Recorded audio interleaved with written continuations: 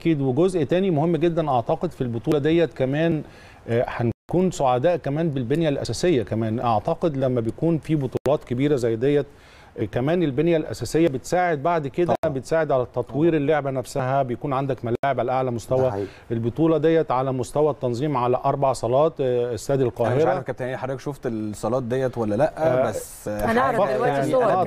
طبعا. بدون تهويل هنعرض صور بدون. تهويل. حاجة يعني بجد فخر.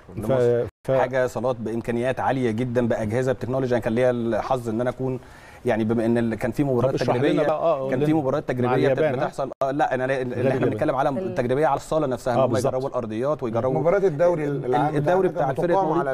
على الصالات بالظبط كده فبيبقى في حاجات آه، تجريبية بتحصل الأول فإحنا كان لينا شرف إن إحنا بجد نكون موجودين جوه الصالة وإن إحنا نخش قبل الناس وإن إحنا نتفرج على مدى الإبهار اللي موجود جوه بالإمكانيات صالات أربع صالات. يمكن كان لينا حظ بس إحنا نخش الصاله اللي هي بتاعت العاصمة الإدارية لكن طبعا شفت الصور وشفت الإمكانيات بتاعت كل المجهود القائم اللي موجود في الأربع صالات بشكل ما إحنا عندنا غير عادي. العاصمة الإدارية العاصمة استاد الإدارية القاهرة 6 برج أكتوبر اللي العرب. هو برج العرب. آه، بالظبط 6 برج أكتوبر وفي برج العرب.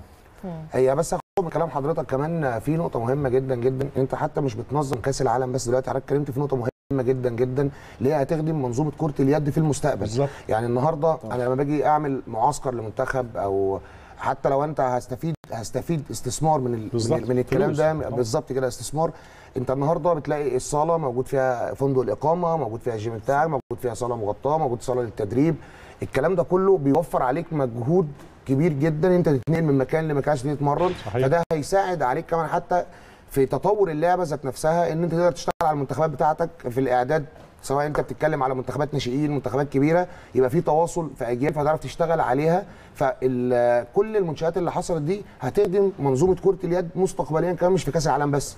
يعني أنت مش بتخاطب بس إن أنت تنجح في كأس العالم لا ده أنت بتخاطب كمان المستقبل إن شاء الله. المستقبل كمان يا كابتن مش على مستوى برضه منتخبات مصر انت ما يكون عندك بنية أساسية زي ديت إن شاء الله. بعد انفراج آه، أزمة كورونا هتلاقي كمان الدول اللي حواليك عايزين نعمل معسكر فين لا مصر حقيقي. عندها بنية أساسية عندها صالات ده. كمان ماركتينج آه، وفلوس داخلة بشكل كبير جدا على بالظبط. مستوى التسويق ولو اتكلمنا على مستوى التسويق على مستوى كمان الصحافة العالمية إحنا بناخد جزء مهم جدا إن آه، إن هذه البطولة بطولة عالمية كبيرة مدى صدى 32 أو 31 دولة كل يوم بتجيب خبر من مصر عن هذه حقيقي. مدى الاستفادة إن مصر اسمها بيتردد رغم الصعوبات والتحديات الكبيرة جدا؟